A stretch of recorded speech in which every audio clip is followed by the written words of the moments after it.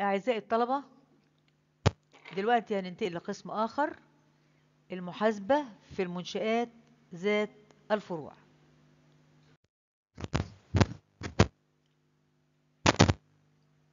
تهدف المنشآت على اختلافها إلى زيادة رقم أعمالها وذلك بزيادة عدد فروعها واتساع قنوات البيع والتوزيع سواء داخل البلاد أو خارجها وتعرف هذه المنشآت بالمنشآت ذات الفروع. بمعنى بقى كده إن منشأة بتفتح لها فروع في أكتر من مكان. في منشآت بتفتح فروع لها داخل الدولة ومنشآت بتفتح لها فروع خارج الدولة. إحنا ملناش دعوه باللي في خارج الدولة دي لأن ليها ليها نوع محاسبة خاص بيها اسمه محاسبة دولية. إحنا بندرس المحاسبة في المنشآت ذات الفروع اللي بتكون داخل الدولة.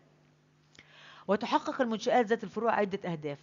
من انتشار فروعها في مناطق جغرافية واسعة من هذه الأهداف. أول حاجة زيادة حجم المبيعات نتيجة تعدد وزيادة قنوات البيع والتوزيع. الإتصال المباشر بالعملاء. الاستفادة من وفرات النشاط الكبير. يقصد بالفروع غير المستقلة بقى. يعني محاسبة عن الفروع غير المستقلة إحنا عندنا الفروع في منها أنواع. في فروع مستقلة وفروع غير مستقلة. إحنا هنخصص الكلام هنا عن الفروع غير مستقلة يعني إيه فرع غير مستقل قبل ما نقرأ الكلام ده؟ فرع غير مستقل يعني تابع للمركز الرئيسي. المركز الرئيسي هو اللي بيمسك حساباته. والمركز الرئيسي هو اللي بيمده بالبضاعة وبيمده بالنقدية وبيمده بكل حاجة. تابع للمركز الرئيسي في كل شيء. وبيمسك المركز الرئيسي حسابات لهذا الفرع غير المستقل فهنا بنقول بقى يقسم بالفروع غير المستقلة الفروع التي يتولى إدارتها والإشراف عليها المركز الرئيسي. لذلك يقوم النظام المحاسبي في تلك الفروع غير المستقلة على أساس أنها تعتمد على المركز الرئيسي في عملية الإدارة والإشراف كما أنها لا تمسك مجموعة دفترية ولا مستندية تمكنها من إعداد حساباتها ما بتمسكش أي مستندات ولا أي دفاتر عشان تحدد حساباتها الختامية وتحديد مركزها المالي وإنما تعتمد على دفاتر إحصائية بسيطة تمكنها من إعداد كشوف الحركة اليومية لجميع عملياتها. من عمليات البيع والشراء والمقبوضات والمدفوعات. والفرع بيقوم بإرسال هذه الكشوف إلى المركز الرئيسي مع المستندات المؤيدة له. كما يقوم المركز الرئيسي بإمداد الفرع بما يحتاج إليه من أصول ثابتة وبضائع ونقدية ويقوم الفرع بإيداع جميع المتحصلات لما بيبيع الفرع بعض المبيعات بيحط المتحصلات بتاعته نتيجة المبيعات في البنوك لحساب المركز الرئيسي. ويعتمد النظام المحاسبي الذي يتبع في الفروع غير المستقلة على عدد الفروع. بمعنى إذا كان عدد الفروع قليل ممكن نستخدم نظام زي نظام المحاسبي اللي قلناه في المنشآت ذات الأقسام. لكن لو عدد الفروع كبير بنستخدم نظام تاني زي ما هنشوف دلوقتي. فهنا ويعتمد النظام المحاسبي الذي يتبع في الفروع غير المستقلة على عدد الفروع. وعلى درجة استقلال الفروع ودرجة الرقابة المطلوب أن يقوم بها المركز الرئيسي. المعالجة المحاسبية بقى طب المركز الرئيسي عايز يحدد نتيجة نشاط الفرع غير المستقل في حالة تسعير البضاعة؟ اولا المركز بيبعت بضاعة للفرع. البضاعة دي إما مسعرة بسعر التكلفة أو بسعر البيع. طب لو البضاعة دي مسعرة بسعر التكلفة المركز الرئيسي هيعرف نتيجة نشاط الفرع إزاي. يبقى اذا إحنا عايزين عنواننا هنا المعالجة المحاسبية لتحديد نتيجة نشاط الفروع غير المستقلة. في حالة تسعير البضاعة المرسلة من المركز الرئيسي إلى الفروع بسعر التكلفة. لو البضاعة اللي بيرسلها المركز للفرع مسعرة بسعر التكلفة المركز هيعرف نتيجة نشاط الفرع إزاي. عندنا طريقتين. الطريقة الأولى المركز هيقارن بين رأس المال المستثمر في الفرع في أول المدة وآخرها الطريقة الثانية المقارنة بين إيرادات الفرع ومصروفات الفرع خلال المدة.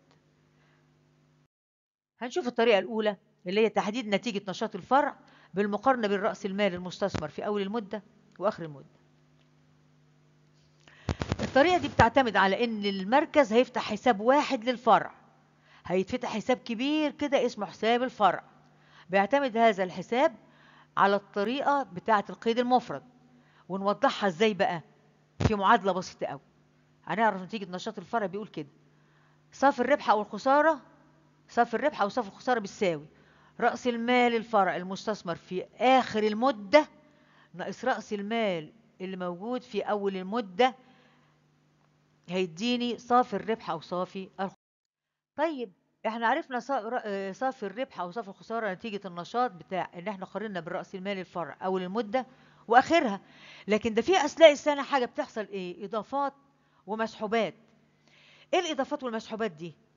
يعني إحنا عرفنا رأس المال أول المدة المستثمر في أول المدة ورأس المال المستثمر في آخر المدة وقارنا بينهم. طب أثناء السنة بيحصل إيه؟ بيحصل فيه بعض إضافات. إضافات بمعنى إن المركز بيبعت حاجات للفرع بيبعت له أصول ثابتة بضايع نقدية. الأصول اللي بيبعتها المركز للفرع أثناء السنة بتسمى إضافات. الخدمات اللي بيقدمها المركز للفرع أثناء السنة بتسمى إضافات. المصاريف اللي يدفعها المركز للفرع أثناء السنة برضه بتخش في بند الإضافات. نيجي بقى للمسحوبات. المسحوبات دي اللي هي أي حاجة يبعتها الفرع للمركز. بتخرج من الفرع للمركز. زي أصول ثابتة وبضايع ونقدية بيبعتها الفرع للمركز.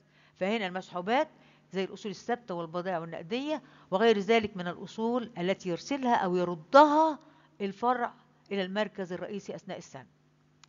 وكذلك أي خدمة بيقدمها برضو المركز للفرع تعتبر إضافات والمصروفات وكذلك قيم الخدمات اللي بيقدمها المركز الرئيسي. لو قدم المركز الرئيسي للفرع بتبقى إضافة.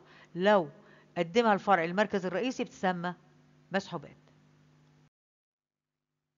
يبقى إذا الكلام اللي قلناه ده بناء على إن إحنا زودنا حكاية الإضافات والمسحوبات دي نقدر نقول إن حساب الفرع اللي هيفتحه المركز الرئيسي للفرع بيتقسم لثلاث أقسام. القسم الأولاني هنحط فيه عناصر أصول عناصر أول الفترة من أصول وخصوم أصول الفرع في أول الفترة والناحية التانية خصوم الفرع في أول الفترة الفرق بينهم ضمنا هيدين رأس مال أول الفترة القسم الثاني هنحط فيه في الجانب المديني الإضافات اللي هي ما يدفعه أو يرسله المركز للفرع. والناحية الثانية المسحوبات اللي هي بتتم أثناء السنة اللي هي أي حاجة يدفعها أو يبعتها أو يردها الفرع للمركز. القسم الثالث عناصر آخر المدة من أصول وخصوم الفرع في آخر المدة. مع ملاحظة ملاحظة مهمة جدا بقى. إحنا في القسم الأول حطينا الأصول في الجانب المدين والخصوم في الجانب الداين. في القسم الثالث هنعكس. هنحط الخصوم في الجانب المدين والأصول في الجانب الداين لأسباب كتيرة مش ضروري أقولها عشان ما لخبطكمش. الشكل الحساب بقى هيبقى واضح كده قدامنا زي ما إحنا شايفينه كده. ادي الحساب متقسم لثلاث اقسام. القسم الاولاني اصول الفرع في اول المدة هيكتب تحتيها بقى الاصول. اذا كان مثلا إيه آلات نقدية بنك ويجمعها وينزل المجموعة اهو في خانة الإجمالي. الخصوم بتاعة الفرع في اول المدة زي الخصوم زي إيه زي اوراق دفع دائنين بيحطها ويحطها في خانة الإجمالي. طيب الفرق بين أصول الفرع في أول المدة وآخر المدة ضمنا هيديني إيه رأس المال هيبقى موجود هنا في الجانب الدايم لأن دايما رأس المال بيبقى في جانب الخصوم. نيجي بقى للجزء الوسطاني اللي هو الجزء الثاني إضافات في المركز في الجانب المدين إضافات من المركز الرئيسي للفرع. أدي الإضافات. تفاصيلها بقى. إضافات بيبعت له نقدية بيبعت له بضاعة. وهنجمعها ويديني إجمالي الإضافات. المسحوبات مسحوبات المركز الرئيسي من الفرع. أي حاجة يردها أو يبعتها الفرع للمركز هتبقى اسمها مسحوبات ويجمعها. بعد كده الجزء الثالث زي ما اتفقت معاكم. هنعكس بقى. نحط الخصوم في الجانب المدين والأصول في الجانب الداين. أدي الخصوم بتاعة الفرع في آخر المدة والأصول بتاعة الفرع في أول في آخر المدة. الفرق بينهم هيطلع لي رأس المال في الجانب المدين. يبقى اذا هنا الجزء الأولاني طلع لي رأس المال في الجانب الداين الجزء الثالث طلع لي رأس المال في الجانب المدين مع الأخذ في الاعتبار ما تم أثناء العام من إضافات ومسحوبات بعد كده بنجمع الجنبين. إذا كان الجانب الداين أكبر هينزل مجموع في الناحيتين طبعا النتيجة هيبقى ربح. إذا كان المدين أكبر هيطلع إيه؟ الرصيد خسارة. يتضح مما سبق أن حساب الفرع السابق ينقسم إلى ثلاث أقسام ويتم خلالها تحديد نتيجة النشاط وتتمثل كما يلي. الشرح اللي أنا قلته الشرح اللي أنا قلته في وسط ما أنا جايبة الشريحة بتاعة الحساب هيتكرر هنا علينا بالكلام أهو. متقسم أهو الحساب لثلاث أقسام. القسم الأولاني يهدف إلى استخراج رأس المال للفرع أو للفترة حيث تظهر أصول الفرع أو الفترة في الجانب المدين والخصوم في الجانب الدين الفرق بينهم قلت هيديني رأس المال ضمنا في الجانب الدين القسم الثاني يهدف إلى إثبات التعديلات التي حدثت على رأس المال الفرع أو للفترة من إضافات أو مسحوبات. تمت أثناء الفترة بين المركز الرئيسي والفرع وبالتالي يجعل هذا الحساب مدين بالإضافات اللي تمت أثناء الفترة أي بما يقدمه المركز للفرع من نقدية أو بضائع أو أصول ثابتة أو خدمات. وداين بالمسحوبات التي تمت أثناء الفترة أي بما يقدمه الفرع من نقدية وبضائع وأصول ثابتة أو خدمات للمركز الرئيسي. الجزء الثالث بيهدف إلى استخراج رأس المال الفرع آخر الفترة حيث تظهر خصوم الفرع في آخر الفترة في الجانب المدين وأصول الفرع في الجانب الداين. الفرق بينهم هيدين رأس المال في الجانب المدين. آدي الشكل بتاع حساب الفرع بتفاصيله بقى. آدي الثلاث أقسام عندي في الجانب المدين. آدي الأصول الموجودة في أول الفترة. آدي الإضافات تفاصيلها. آه الأول في الجانب المدين أصول موجودة في أول الفترة في الجانب الداين الخصوم في أول الفترة وجمعتهم وحطيتهم في خانة الإجمال. الإضافات أي بضاعة أو نقدية أو أي خدمات أو مصروفات يدفعها المركز للفرع أو أي آلات أو أي حاجة يبعتها المركز للفرع دي تعتبر إضافات بنجمعها وتتحط أهي في خانة الإجمال. المسحوبات في الجانب الدين قصادها أي حاجة يبعتها الفرع للمركز بتعتبر مسحوبات. نيجي للقسم الثالث الخصوم. الخصوم دي زي ما قلت لكم أهي الخصوم بتتحط في الجانب المدين بنعكس بقى ونجمعها والأصول بتتحط في الجانب الجانب الدين ويجمعها. بعد كده بنجمع الجنبين إذا طلع الجانب الداين طبعا هنجمع المجاميع اللي في الخانة الإجمالي. هنجمعها إذا كان الداين أكبر هينزل مجموع في الناحيتين يطلع صافي ربح الفرع والعكس إذا كان الجانب المدين أكبر هيطلع صافي خسارة الفرع. آه طيب دلوقتي آه نشوف بقى تمرين على حساب الفرع.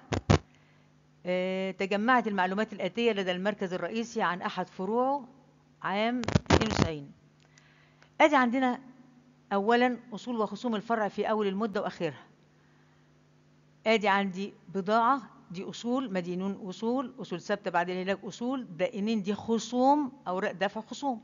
أدي عندي أول الفترة واخرها يبقى إذا العمودين بتوع أول الفترة واخرها دول ممكن أعمل منهم القسم الأولاني اللي فوق في الحساب والقسم الأخير الثالث نيجي بقى نشوف دي في ثانيا المعاملات بين المركز الرئيسي والفرع.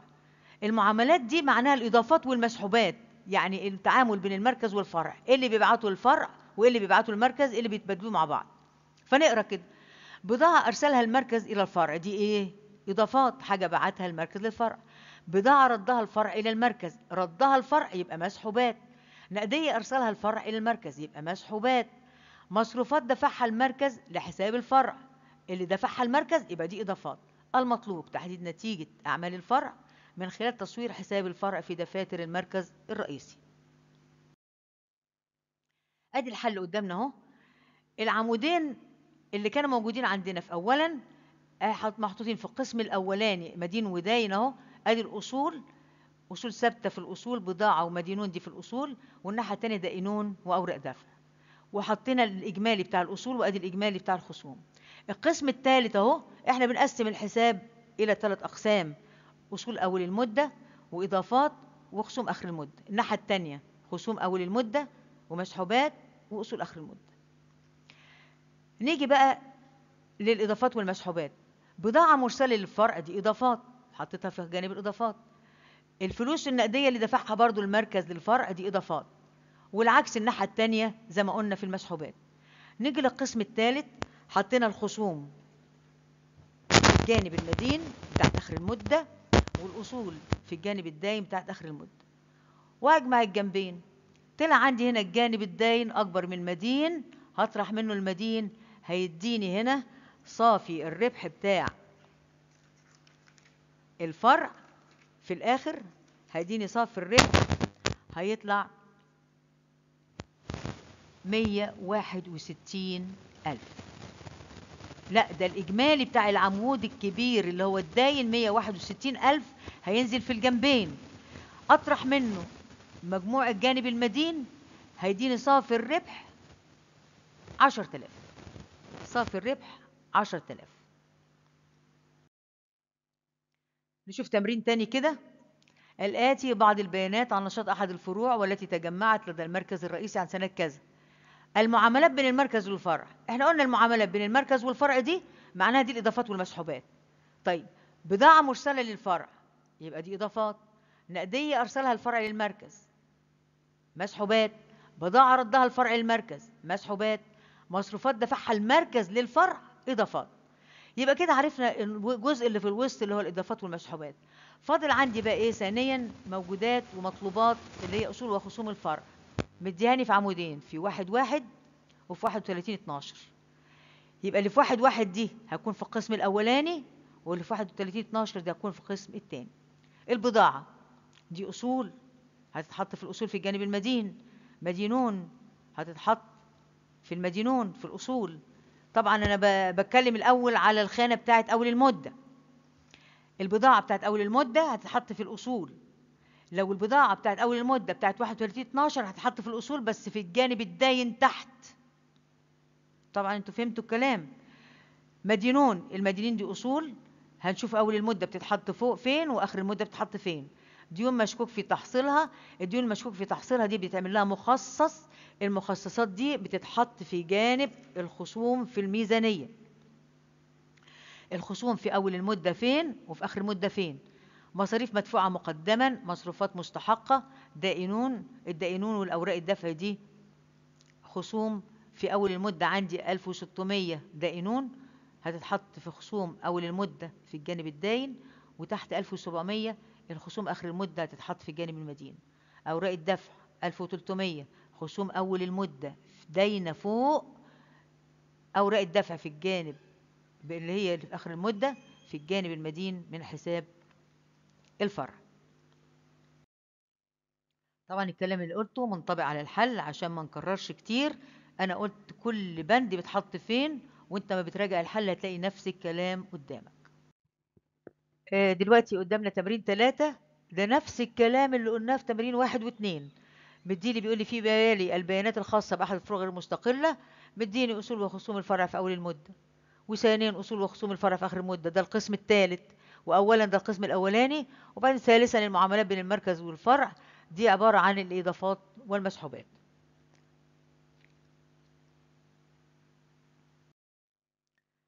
الحل بقى أنا مش هتكلم. يعني أنت مفروض فهمت الفكرة الحل قدامك سهل وبسيط جدا فأنت بتجرب نفسك والحل قدامك التمرين واضح زي الفل ومحلول.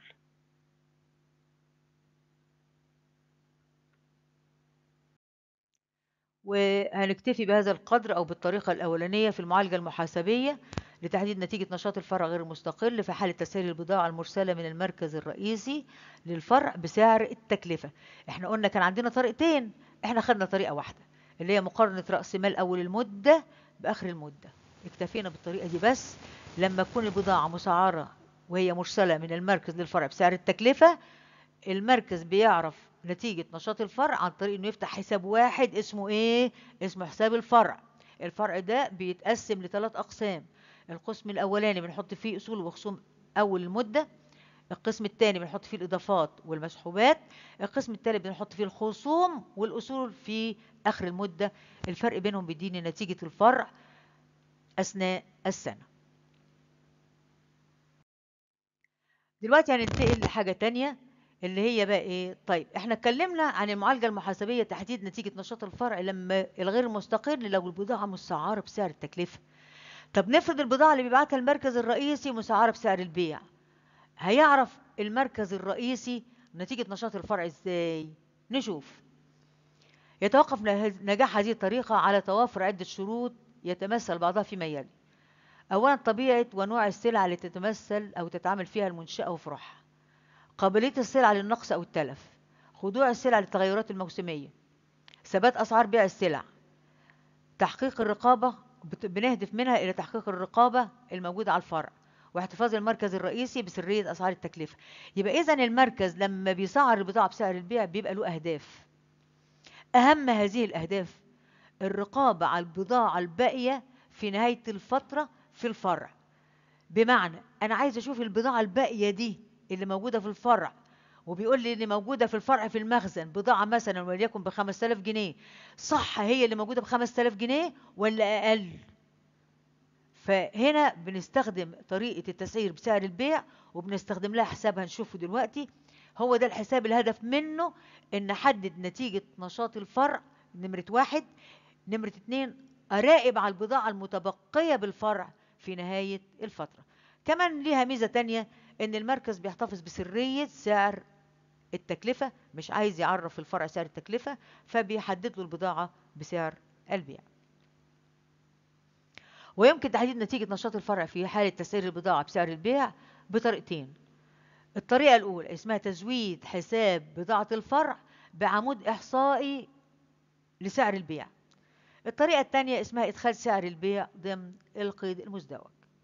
إحنا هنركز مع بعض على الطريقة الأولى. هنركز مع بعض اصحوا معايا على الطريقة الأولى. هي تزويد حساب بضاعة الفرع بعمود إحصائي لسعر البيع.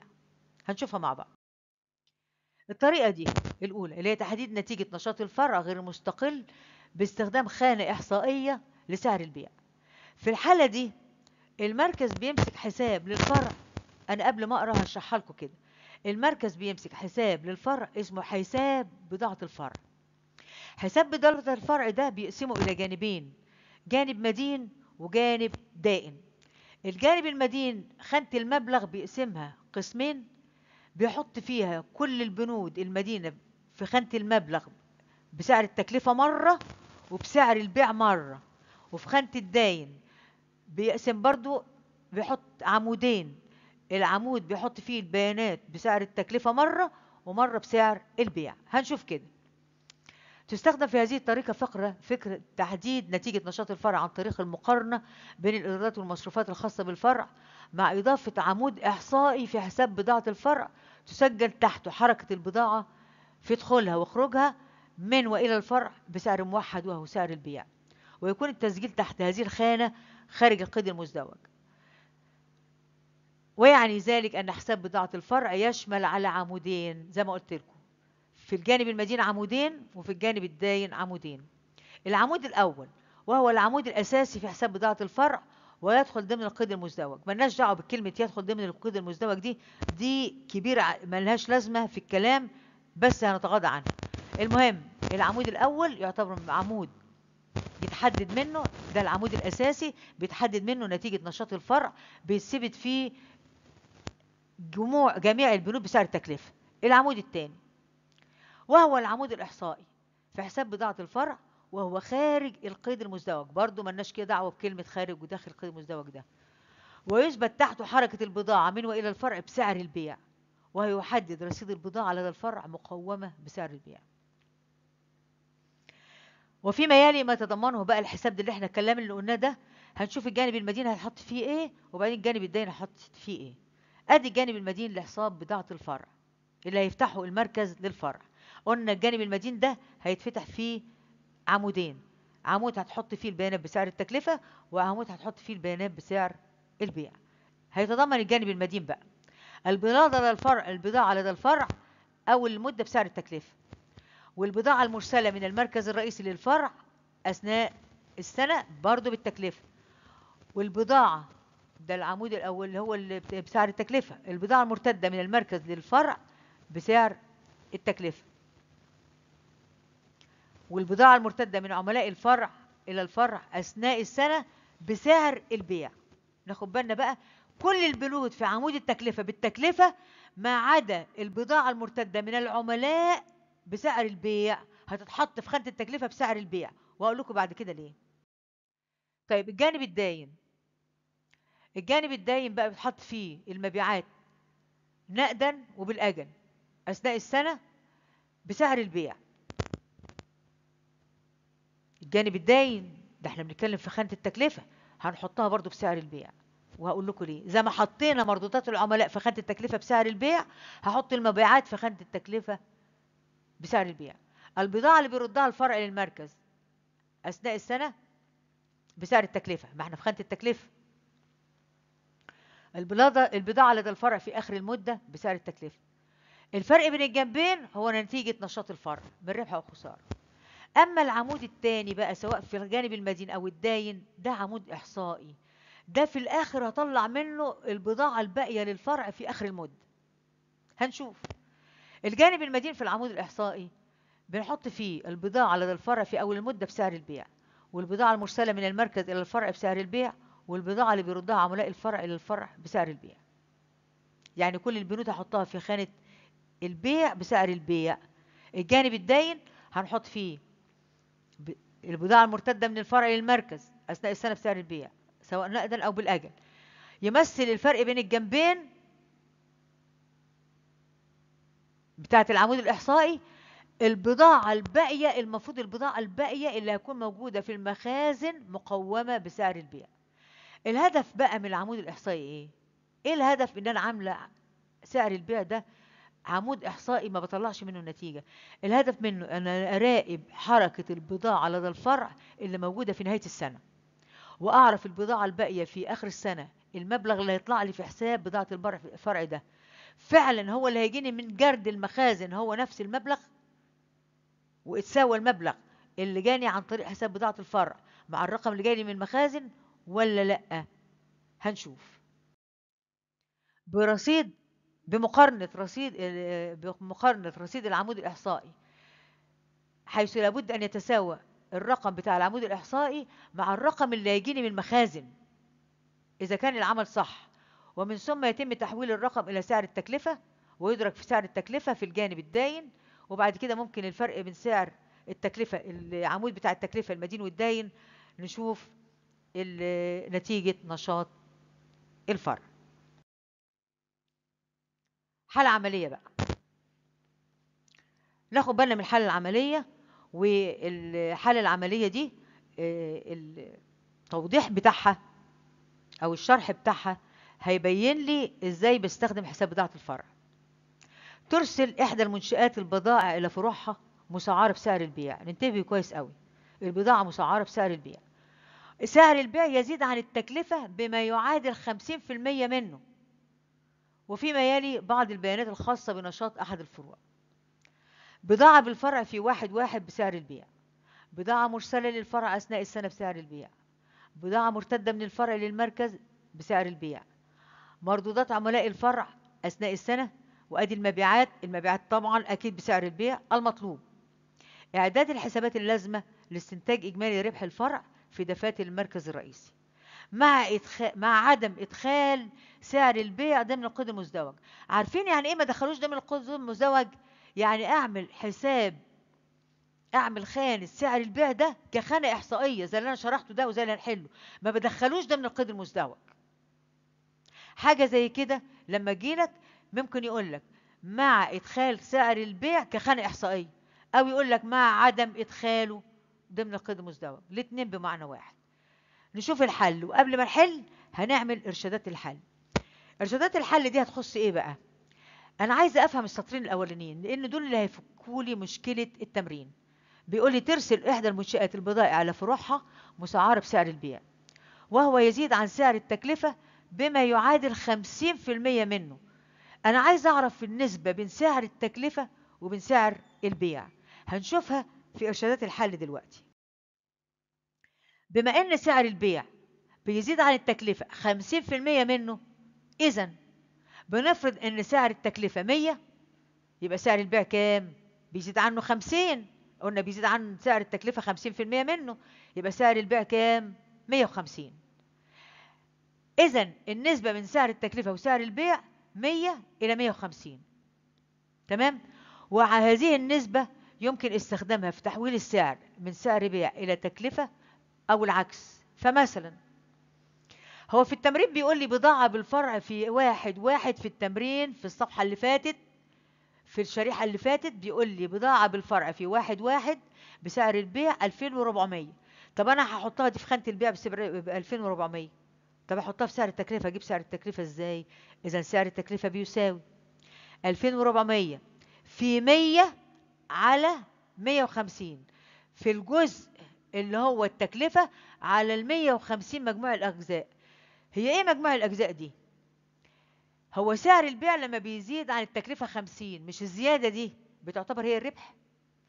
فلما نقول التكلفة 100 والربح 50 يبقى سعر البيع 150 يبقى إذا بقول بضاعة بالفرع في واحد واحد 2400 في 100 اللي هي الجزء على مجموع الجزئين اللي هو التكلفة زائد الربح ال 50 مجموع الجزئين اللي هو 150 يبقى إذا سعر التكلفة بيساوي 2400 في 100 على 150 هيديني بضاعة بالفرع في واحد واحد 1600 وهكذا بقى. يعني مثلا إذا حبينا نشوف البند اللي بعدها برضو هنضربه في 100 على 150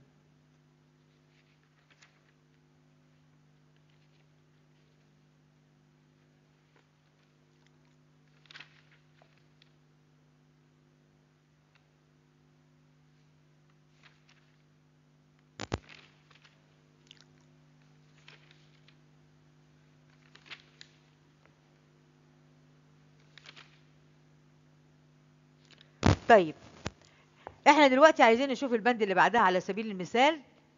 مثلا بيقول بضاعة مرسلة للفرع في الصفحة اللي فاتت في الشريحة اللي فاتت بضاعة مرسلة للفرع أثناء السنة بسعر البيع 27150 طب عايزين نطلع سعر التكلفة؟ هنقول 27150 في 100 على 150 وعن طريق الاختصار والكالكوليتر بتطلع أنت سعر التكلفة 18100 نيجي للبند اللي بعدها. بيقول لي بضاعة مرتدة من الفرع إلى المركز أثناء السنة بسعر البيع. البضاعة المرتدة بنحطها الناحية التانية.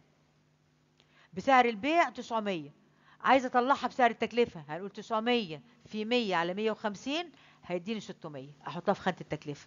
يبقى إذا الخانة الأولى دي بتبقى سعر التكلفة الخانة التانية دي بتبقى سعر البيع.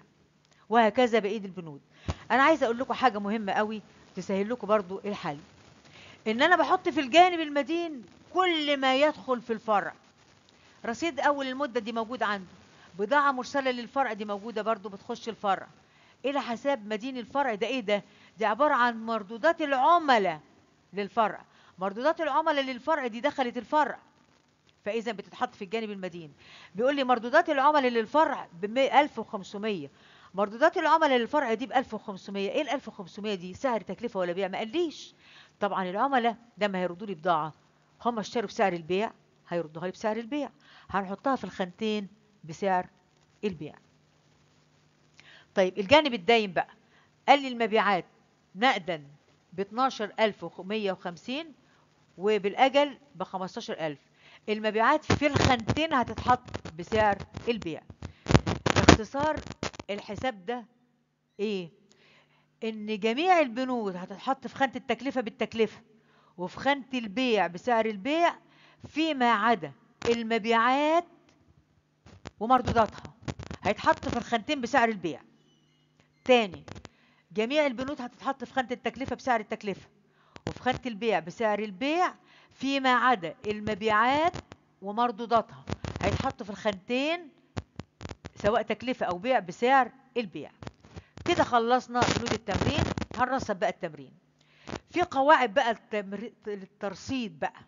لازم قاعدة تحطها في دماغك ويا ريت تكتب الكلام ده وأنا بقوله كده هو عشان ترجع ليه. لازم وأنت بترصد ترصد خانة سعر البيع الأول المدين والداين خانة سعر البيع أنا هنا بيبقى البند ال 3000 ده بيبقى بند ناقص. البند ال 3000 اللي في المربع ده اللي في الجانب الداين ناقص. البند ال 3000 ده عبارة عن بضاعة آخر المدة اللي موجودة بسعر البيع. طب البند هنا ده موجود ناقص في الجانب الداين. يبقى إذا الجانب الداين المدين هنا اللي هو 2400 2750 1500 لو جمعته هيطلع مجموعه 31 و50 أكبر من الجانب الداين. هيبقى ينزل المجموع الجانب المدين في الناحيتين. الفرق بينهم 3000 دي بضاعة آخر المدة بسعر البيع. كده أنا راقبت بضاعه آخر المدة وطلعتها في الحسابات. مفروض بقى الجرد الفعلي في المخزن يديني بضاعة آخر المدة فعلا ب 3000 جنيه. كده يبقى راقبت بضاعه آخر المدة وده أول هدف حققه إيه؟ الطريقة دي. طيب أنا طلعت بضاعة آخر المدة ب 3000 جنيه. هحول بضاعة آخر المدة أم 3000 جنيه دي بسعر البيع إلى سعر تكلفة؟ هعمل إيه بقى لما أحولها لسعر تكلفة؟ هضربها. ها. ده سعر البيع. هعمل بالعكس 3000 ها. العكس بقى. هعمل ال 3000 هضربها في 150 على 100 هيطلع لي سعر بضاعة آخر المدة بالتكلفة 2000 كملت كده خانة التكلفة كملت كده خانة التكلفة الجانب المدين والداين هجمعهم بقى الجنبين أشوف أنهي الأكبر عشان إذا كان الداين اكبر هيطلع ربح المدين اكبر هيطلع خسارة. الجانب الداين طلع مجموعه كام؟ 29750 ده الكبير. هيتحط في الناحيتين. الفرق طلع عندي 8550 ده ربح ده مجمل ربح الفرع.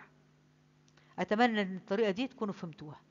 ده بقى بصوا معايا ده لما يكون التمرين أصلا مدهوني زي ما لو رجعتوا في الصفحة اللي فاتت التمرين أصلا مدهوني مش مديني فيه بضاعة آخر المدة.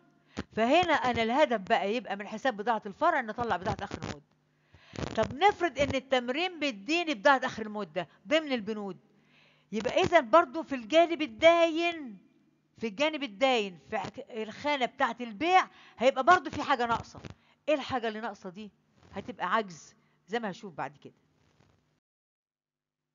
الحالة العملية التانية دي برضو عايز حساب بضاعة الفرع برضو خارج نطاق القيد المزدوج هنعمله بنفس الطريقة وبرضو هنا سعر البيع بيزيد عن التكلفة بيبقى عادل 50% منه. يعني إذا افترضنا إن التكلفة 100 يبقى البيع 150 يبقى النسبة بين الاثنين 100 ل 150 هنا البنود بحولها من سعر بيع لسعر التكلفة أضرب فيه يعني دي 9000 هضربها في 100 على 150 وهكذا. أما بالنسبة للمبيعات بتبقى أصلا ما تتحط في سعر البيع في الخانتين. يبقى برضو طلعنا بملحوظة مهمة نكتبها لو أنت بتكتب معايا الملحوظات إن في بنود جميع البنود بتحط في خانة التكلفة بسعر التكلفة وفي خانة البيع بسعر البيع. فيما عدا المبيعات ومردوداتها بتحط في الخانتين خانة سعر التكلفة وخانة سعر البيع بسعر البيع. بتتحط في الخانتين المبيعات ومردودات المبيعات اللي الناحية التانية بتتحط في الخانتين بسعر البيع. طبعا التمرين ده لما تلاقوا الحل بتاعه وأدي إرشادات الحل زي النظام اللي فات وأدي الحل بتاعه هتلاقوه بنفس النظام. وهنا برضو طلعنا بضاعة آخر المدة 15000 بسعر البيع حولناها لتكلفة وبعدين من خانة التكلفة بنطلع الربح أو الخسارة. نشوف بقى. أنا قلت لكم إن لو بضاعة آخر المدة جاياني في التمرين يبقى اذا هستنتج من خانة سعر البيع بضاعة آخر المدة. طب نفترض التمرين مش مديني بضاعة آخر المدة. آه لو التمرين سوري مش مديني بضاعة آخر المدة يبقى المفروض هحل بالطريقة اللي فاتت وأطلع بضاعة آخر المدة. طب لو مديني تمريني بضاعة آخر المدة موجودة في ضمن البيانات يبقى أحطها عادي. بحطها في خانة التكلفة بالتكلفة وفي خانة البيع بالبيع عن طريق النسب اللي موجودة لي كأي بند عادي وبحطها في الجانب الداين من حساب بضاعة الفرع. طب أمال أنا هرصد خانه سعر البيع أطلع إيه؟ هلاقي في الجانب الداين في حاجة ناقصة الحاجة الناقصة دي هتبقى عجز. هنشوف بقى هيحصل إزاي. بصوا بقى حالة وجود عدم عجز لو مفيش عجز في البضاعة اللي هي الحاجة اللي إحنا قلناها المرة اللي فاتت بيكررها لي تاني بقى. يحقق لنا هذا الحساب الرقابة على البضاعة لدى الفرع وتتضح من الآتي. آدي الحساب معمول أهو بسعر البيع. آدي حساب بضاعة الفرع آدي الجانب المدين والداين. حطينا في الجانب المدين كل ما هو موجود في الفرع أو كل حاجة بتدخل للفرع. آدي البضاعة لدى الفرع في أول المدة البضاعة المرسلة من المركز إلى الفرع البضاعة المرتدة من عملاء الفرع للفرع والبضاعة المحولة للفرع من فرع آخر. ما هي دخلت الفرع يبقى تتحط في الجانب المدين. الجانب الداين بقى بيحط البضاعة التي يردها الفرع للمركز المباعة نقدا وبالأجل اللي بيحولها الفرع. الرصيد بيديني إيه تحت؟ بيقول لي بقى إيه؟ يمثل القيمة الدفترية للبضاعة الموجودة لدى الفرع مقومة بسعر البيع. طيب. هنا ما ننساش إن إحنا بنعمل خانتين في الجانب المدين خانة للتكلفة وخانة للبيع. وفي الجانب الدايم بنعمل خانتين خانة للتكلفة وخانة للبيع. طيب. نشوف نكمل كلامنا. ده حالة عدم وجود عجز.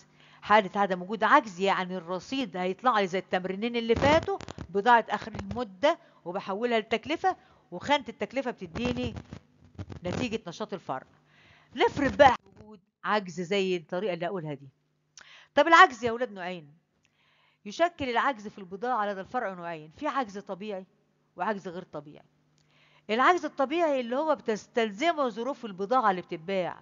زي مثلا واحد بيبيع قماشة كل ما يبيع خمس تمطار لحد يقول له زود خمسة سنتي خمسة سنتي. يروح مزود في آخر التوب بيطلع عجز مثلا ربع متر.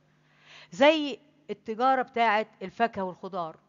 في آخر الأسبوع بيطلع شوية فاكهة وخضار بايظين ده عجز طبيعي. زي التجارة في الكحوليات محل الروايح في آخر الفترة بيطلع نسبة تطاير ده عجز طبيعي ده العجز الطبيعي. العجز غير الطبيعي اللي بترجع ظروفه لأسباب غير طبيعية. زي إيه مثلا؟ حريق سرقة إهمال اختلاس. يبقى عجز الطبيعي ده بتستلزمه ظروف البضاعة. أما العجز غير الطبيعي ده حاجة غير طبيعية فلازم نحدد المسؤول. طب نعالجهم محاسبيا إزاي بقى؟ بيقول لي العجز الطبيعي بيؤثر على إجمالي الربح. بما إن العجز الطبيعي ده بيأثر على إجمالي الربح خدوا بالكم أنا الربح بطلعه من أنهي خانة؟ من خانة سعر التكلفة. مش كده؟ لما بحول بضاعة آخر المدة من سعر بيع لسعر تكلفة بحطها في خانة سعر التكلفة. طيب فهنا أنا زودت الجانب الدايم بتاع التكلفة برقم. أنا لو حطيت التكلفة بتاعت العجز الطبيعي في الجانب الداين يبقى كده أنا زودت الربح. لأن الجانب الداين زاد. لا ده أنا عايز الربح الطبيعي ده يأثر لي على الربح. عايزاه يقلل الربح بقيمة التكلفة دي. فإذا المبلغ بتاع بتاعت آخر المدة لما يطلع لي بسعر البيع والعجز العجز لو طلع عندي طبيعي وقال لي في التمرين إنه عجز طبيعي هحطه في خانة البيع بسعر البيع ومش هصهره في خانة التكلفة عشان يأثر لي على خانة التكلفة. العكس بقى بالنسبة للعجز غير الطبيعي. لو قال لي في التمرين إن العجز ده غير طبيعي هيتحط في خانة البيع يطلع بسعر البيع وحوله في خانة التكلفة لسعر تكلفة لأن ده مفروض ما يأثرليش على الربح. لأن ده غير طبيعي. أمال هعمل فيه إيه العجز غير الطبيعي ده؟ لا ده أنا لازم أحدد المسؤول عن هذا العجز. هنشوف إزاي. مثال.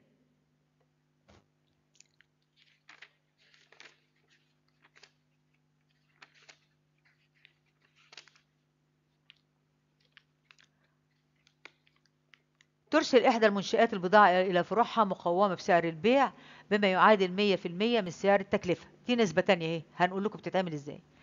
آدي بضاعة بالفرع في التكلفة بضاعة مرسلة للفرع بالتكلفة بيقول لي بسعر التكلفة إذا بحطها في خانة التكلفة بالتكلفة وهحول السعر ده إلى بيع عن طريق النسبة زي ما هنشوف. مبيعات الفرع النقدية بسعر البيع ومبيعات الفرع الآجلة. دي بتتحط المبيعات قلنا ومردودات المبيعات في الخانتين بسعر البيع. البضاعة الباقية في آخر المدة بسعر التكلفة. هحطها في خانة التكلفة وعن طريق النسبة هحولها لسعر بيع وأحطها في خانة البيع. المطلوب إعداد الحسابات الخاصة بالفرع في دفاتر المركز الرئيسي في حالة اعتبار سعر البيع سعر إحصائي مع افتراض إن العجز اللي بيوضحه الحساب مرة عجز طبيعي ومرة عجز غير طبيعي. طيب أنا بقول لكم بالمناسبة أما يجي لكم حاجة زي كده في الامتحان هيجي لك يا إما عجز طبيعي يا غير طبيعي حاجة واحدة بس. بس هنا مدي لك التمرين على أساس إيه؟ بتتدرب. مرة تعمله عجز طبيعي ومرة تعمله عجز غير طبيعي. هنفتح الحساب ونشوف هنعمل إيه ونشوف الأول النسبة اللي فوق دي هنجيبها إزاي إن سعر البيع بيعادل 100% من سعر التكلفة. بما إن سعر البيع بيعادل 100% من سعر التكلفة فإذا فرضنا إن سعر التكلفة واحد يبقى البيع اتنين ما دام البيع 100% قده يبقى إذا افترضنا إن التكلفة واحد يبقى البيع إيه؟ اتنين يبقى النسبة بين التكلفة والبيع إيه؟ واحد إلى اتنين ويمكن تحويل الأرقام من سعر البيع إلى التكلفة والعكس عن طريق هذه النسبة مثال هو بيقول لي في أول التمرين إيه؟ إذا كان بضاعة بالفرع في أول المدة بالتكلفة 15000 يبقى البيع ضعفها على طول 30000 وهكذا بقية الأرقام تمام؟ البيع ضعف التكلفة على طول. ونحل التمرين بقى. هنحل التمرين. هو قال لي حله مرة عجز طبيعي ومرة عجز غير طبيعي. هنكتب هنا بفرض أن العجز طبيعي ونحل. هنشوف أول بند عندي في التمرين بضاعة بالفرع بالتكلفة في أول المدة 15000 هحطها في خانة التكلفة ب 15000 يبقى البيع 30000 البند الثاني في التمرين بيقول لي بضاعة مرسلة من المركز للفرع بالتكلفة. مرسلة يعني دخلت كل اللي بيخش بنحطه في الجانب المدين وقلنا باللي بيطلع بنحطه في الجانب الدائن طيب هنا بضاعة مرسلة من الفرع للمركز 113 أهي بسعر التكلفة. يبقى ضعفها على طول سعر البيع 226000 تحط في خانة البيع. بعد كده بضاعة مرتدة من الفرع للمركز. بضاعة مرتدة من الفرع تتحط الناحية التانية خرجت. فوق أهي بكام؟ ب 13000 تكلفة تبقى ضعفها على سعر البيع 26000 نيجي بقى للمبيعات النقدية والآجلة. اتفقنا مع بعض المبيعات النقدية والآجلة بتتحط في الخانتين بسعر البيع. أدي المبيعات الآجلة 118000 بتتحط في الخانتين بسعر. البيع وأدي النقدية 101000 بتتحط في الخانتين بسعر البيع. طيب مردودات عملاء الفرع للفرع بسعر البيع 28000 قلنا مردودات عملاء الفرع اللي هي دي. إلى مدين الفرع هتتحط المبيعات قلنا ومردوداتها في الخانتين تكلفة وبيع بسعر البيع. حطيناها في الخانتين بسعر البيع. طيب. نيجي بقى البضاعة الباقية في آخر المدة. بالتكلفة 18000 كويس. هنا مديني بقى بضاعة آخر المدة أهي 18000 في التكلفة بالتكلفة. احطها في سعر البيع بضعفها 36000 واضح يا شباب؟ كده خلصنا التمرين. بيقول لي بافتراض إن العجز بقى يطلع طبيعي. العجز ده يطلع في خانة البيع. معناها إن لازم قلنا قاعدة قاعدة من ضمن القواعد اللي تكتبوها. لازم أرصد خانة البيع الأول ودايما اللي ناقص هيبقى في الجانب الداين. معنى كده إن الجانب المدينة هو الكامل هجمعه الأول. مجموع الجانب المدينة هيطلع 248 ألف.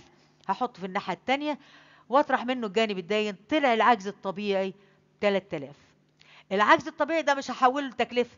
لأن قلت العجز الطبيعي ده حاجة بتستلزمها ظروف البضاعة فلازم تتأثر البضاعة حتى على الأقل بسعر تكلفة البضاعة اللي حصل فيها عجز دي. لازم العجز ده يأثر لي على الربح. ما دام هيأثر لي على الربح فمش هيظهر في خانة التكلفة. وبعد كده برصد خانة التكلفة طلع هنا الجانب الدين أكبر طلع مجموعه خمسة 250 ألف اتحط في الناحيتين. أطرح الجانب المدين منه هيطلع الربح عندي 94 ألف. نقرأ الكلام اللي تحت. في هذه الحالة يؤثر العجز الطبيعي على إجمالي الربح حيث لم يثبت في خانة التكلفة بسعر التكلفة. مما يعني أن الربح الإجمالي اللي ظهر في خانة بضاعة الفرع يعتبر ربح البضاعة المباعة مخصوم منها تكلفة العجز الطبيعي. هنشوف الحالة التالية بقى بفرض لو العجز غير طبيعي. نفس التمرين هيتحل بنفس النظام ما عدا لما نيجي نحله نرصد خانة سعر البيع. هنحل بقى ونحط العجز غير طبيعي. نفس النظام حطينا البيانات في التكلفة وحولناها البيع بنفس الطريقة. حطيناها في التكلفة في التكلفة وحولناها للبيع عن طريق إنها ضعف التكلفة. قلنا فيما عدا المبيعات ومردوداتها بتتحط في الخانتين بسعر البيع. نرصد بقى خانة سعر البيع. اتفقنا الجانب المدين في خانة سعر البيع أكتر 284 ألف. هنحط في الناحية التانية وطلع العجز غير الطبيعي 3000 زي ما طلع هناك. هنا بقى العجز ده هيأثر لي على الربح. هنا بقى آه سوري مش هيأثر مش هيأثر على الربح. هو اللي بيؤثر على الربح العجز الطبيعي عشان كده ما حطيتوش هناك في سعر التكلفة. لكن هنا دون العجز غير الطبيعي ده مش هيأثر لي على الربح لأن في مسؤول هحدد المسؤولية عنها. هنا العجز غير الطبيعي هحوله لسعر تكلفة. إحنا قلنا البيع ضعف التكلفة يبقى إذا العجز الطبيعي الغير الطبيعي هنا في خانة التكلفة ب 1500 وبرصد خانة التكلفة هيطلع لي الربح هنا 95500 في هذه الطريقة حالة العجز غير الطبيعي لا يتأثر ربح البضاعة المباعة بقيمة العجز غير الطبيعي. ولكن يفصل في حساب خاص زي ما فصلناه تحت كده زي شايفينه في الشريحة دي. ويجعل الحساب مدين بقيمة العجز اهو زي ما أنتم شايفين مدين بال 1500 فتحنا حساب للعجز غير الطبيعي مدين ب 1500 وإما يتحملوا بقى شركة التأمين أو مين المسؤول أو حساب الأرباح والخسائر. تمام؟ يبقى كده العجز غير الطبيعي هنا ما أثرليش على الربح. كده خلصنا واكتفينا بالجزء ده في آه، القسم الخاص بالمحاسبة في المنشآت. ذات الفروع وما خالص تمنياتي لكم يا أبناء الطلاب بالصحة والنجاح. شكراً.